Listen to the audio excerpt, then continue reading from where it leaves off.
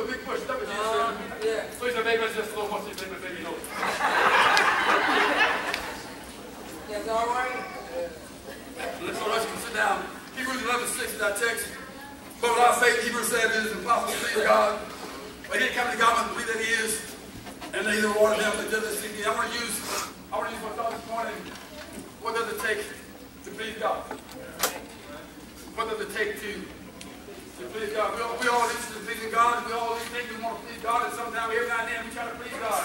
And, and if we can please God, it just feels even better. And if we can please God a little bit more, it even better. But, but every now and then, I would understand that we have to come to a point in our life where pleasing God becomes important to us. And I want to, I want to look about three or four things very quick on this text, because it's an important text. If you read all of Hebrews 11, you see some men and women who had some wonderful experience in life, in spite of the challenge they faced, in spite of the difficulty they encountered, I, I wish we had time to tell you that, that Rahab started off as a prostitute. Rahab started off as a biblical. I won't say the word, y'all get it in the Bible. I don't know. I'm so glad y'all remember Jesus. Tell me what he said, not say. So, so I use the word prostitute, is that all right? That's all right. Harlot. That's all right. That's what she was, not killed.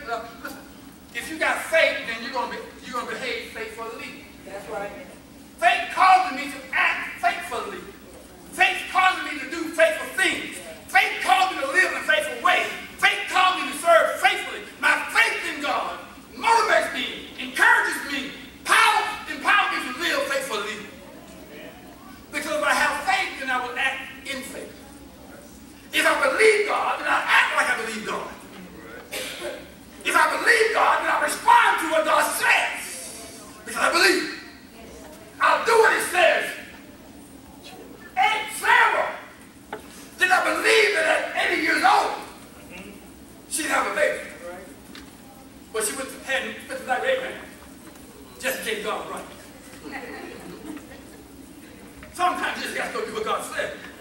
Just in case God's right.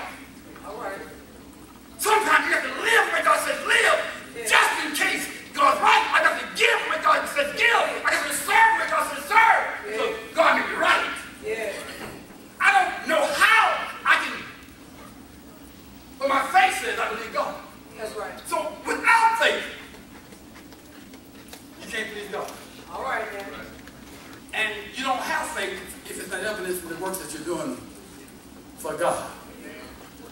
James said, you may say you have faith, but show me your faith without the words." He said, I'll show you my faith by my words." James says, you say you believe God? James, that's good. But to the devil's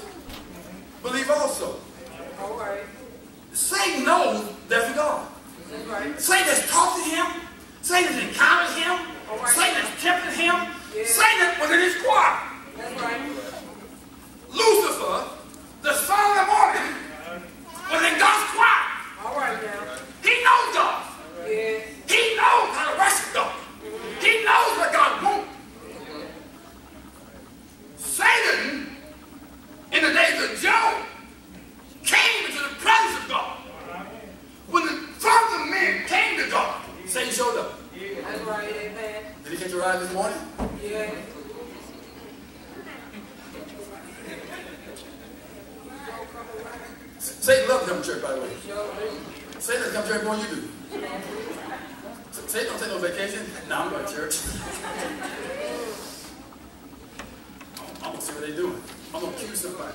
I'm going to slander somebody. I'm to lie. Because Satan's a slanderer, the Bible said. Satan's an accuser.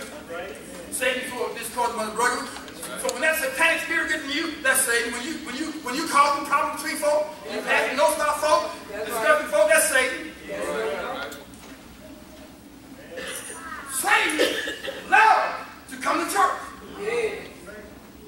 When Joshua was praying, Satan was there. Trying to resist Joshua. Trying to get his mind off prayer. Satan was trying to keep Joshua out of prayer, y'all. Yeah. I'm just saying. That's how he acts. Satan knows God. That's right. James said, Thou believest in one God, that thou does well. Further, he first says, The devils believe it. James 2.19. Thou believest there is one God, thou does well. The devils also believe and tremble. The devil knows there's a God. The devil believes there's a God. The devil have an encounter with God. When, when Jesus told the devil to come out of that man at the graveyard, the devil ran to the house.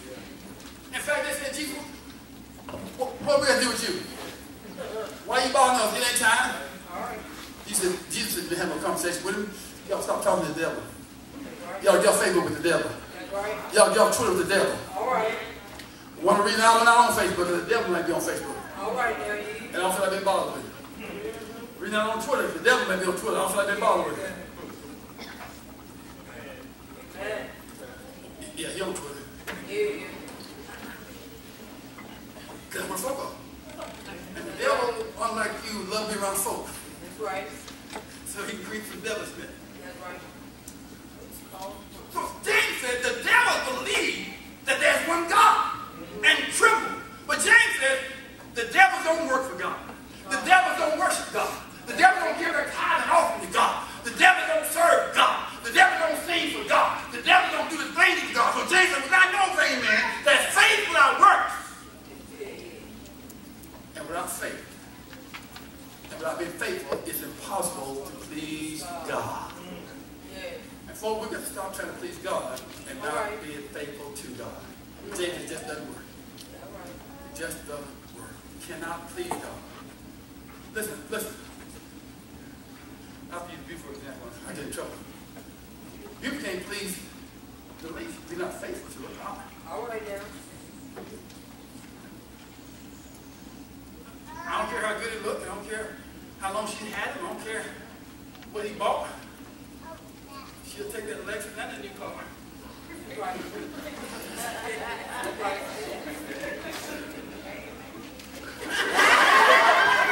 I'll do somebody else.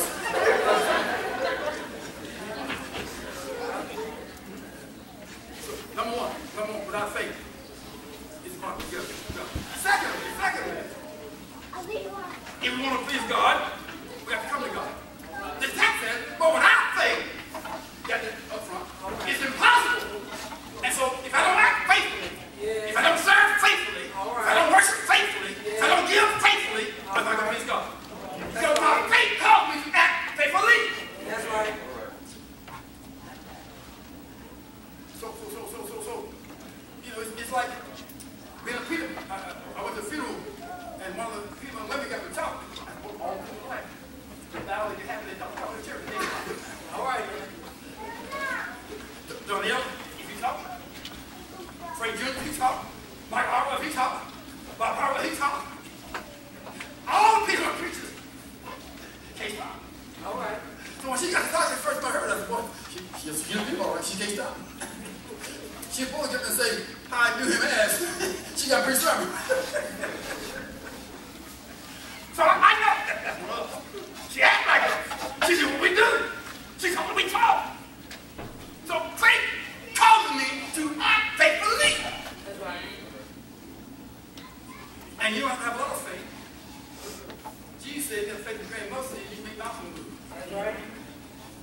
You want the mouth to move? Act faithfully. You want the mouth to move? Serve faithfully. You want the mouth to move? Give faithfully. Yeah. Jesus said, move mountains. Mm. So, so without faith, number one, I can't please God. Without two, number two is,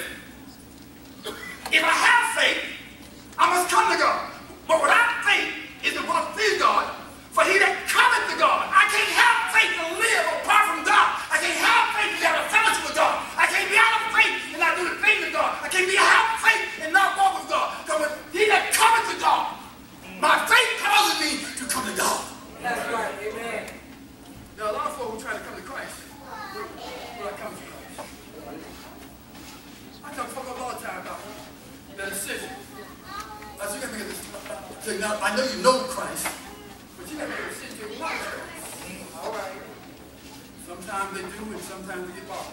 But Jesus said, faith calls us to come to God.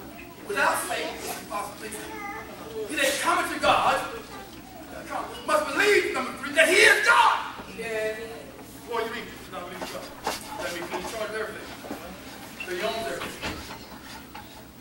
That I have to acknowledge Him as the, as the Lord of my life. Because if God of your life and your life decision. Amen. It's been chosen. Remember, we talked about, we talked about last week about Oh, humbling with that God. Humble means what? I believe God. God, you're in charge. You can make me do things I want to do. You can make me go places I want to go. So you're in charge. I humble myself. I yield myself to what you want me to do.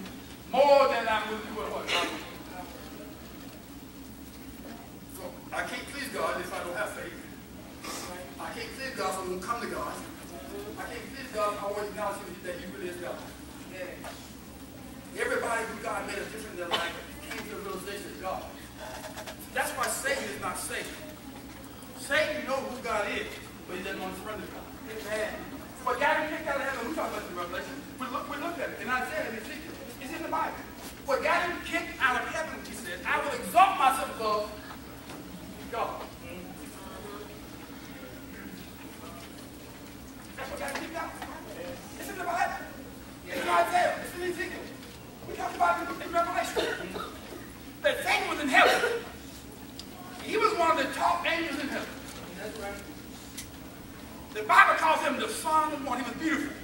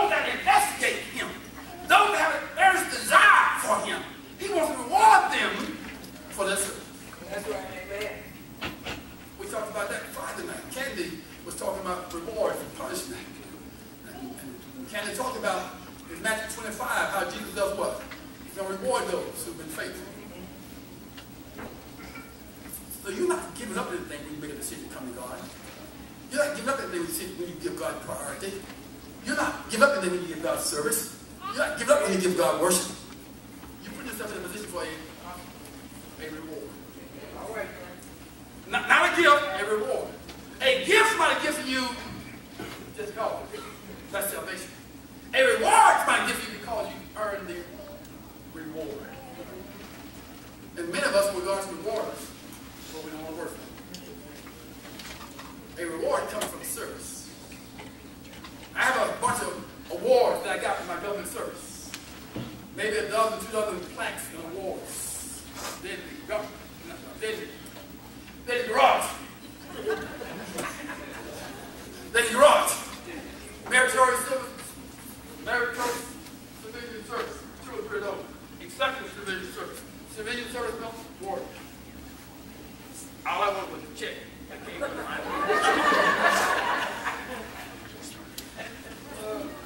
That's all right. In fact, when I got the award, you'll check. What a check. but a person knows in the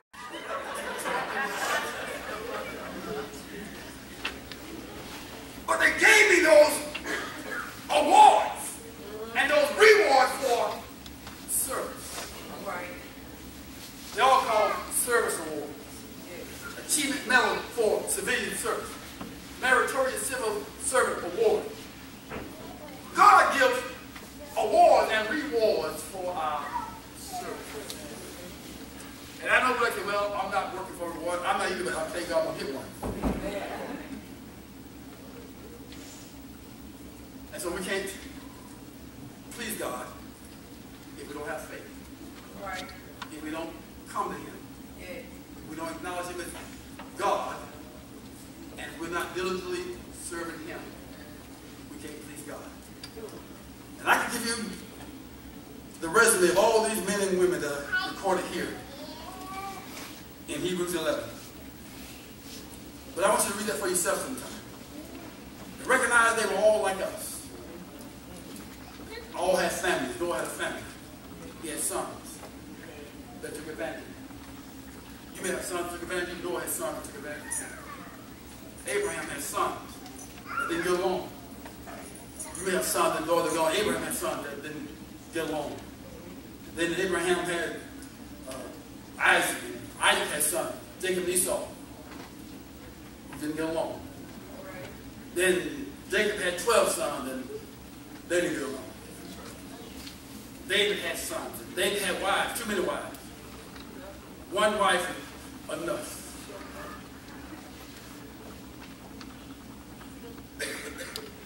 that, that was the Bible way. God said, for this cause shall a man leave his mother, father, cleave unto his wife.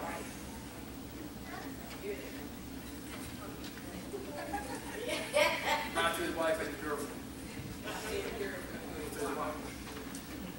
But they all had, but Abraham had a girlfriend. Wife too many. But in spite of their imperfections, in spite of their failures, God used them because of their faith.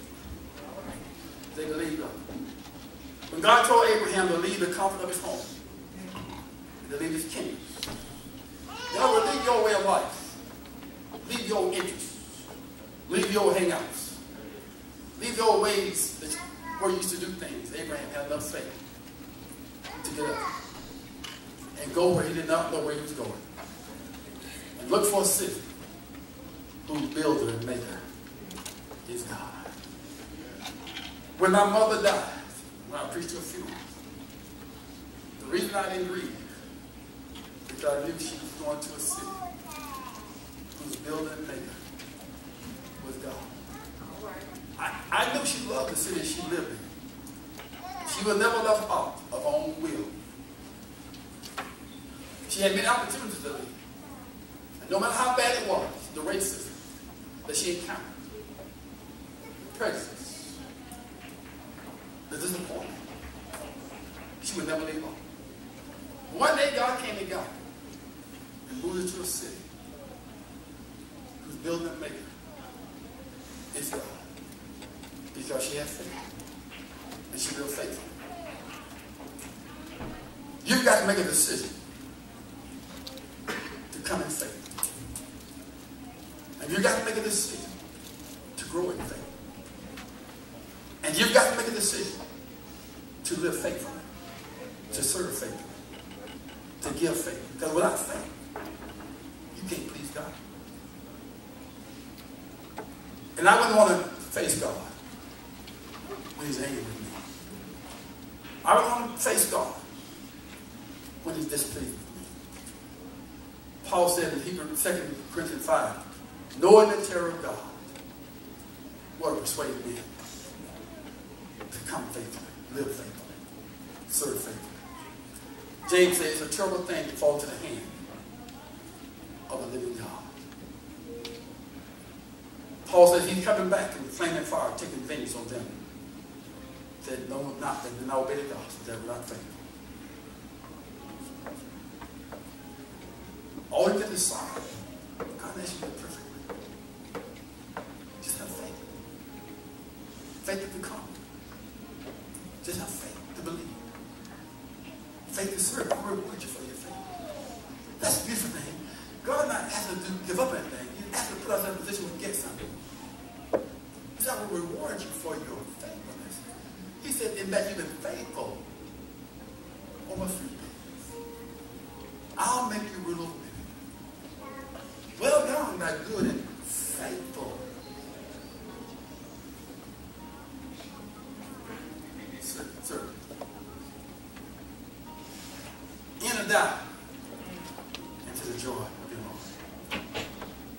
Come today?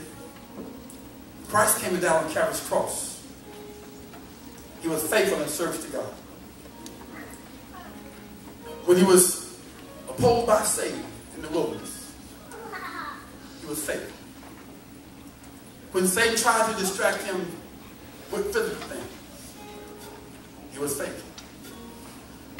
When Satan tried to attract him with glory and self-worth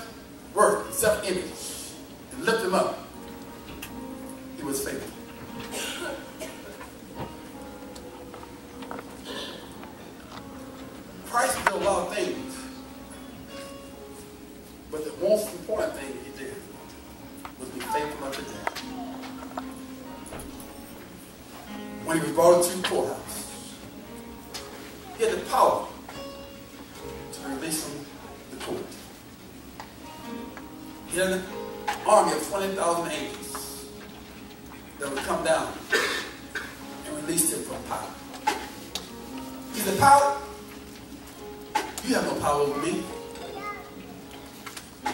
I have a of angels.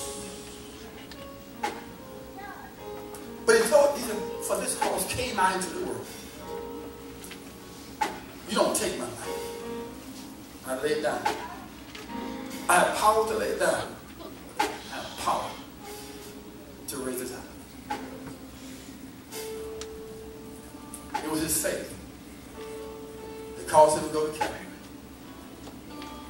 It was his faith caused him to hang from Calvary's cross. It was his faith that allowed him to bury him in the borrowed tomb.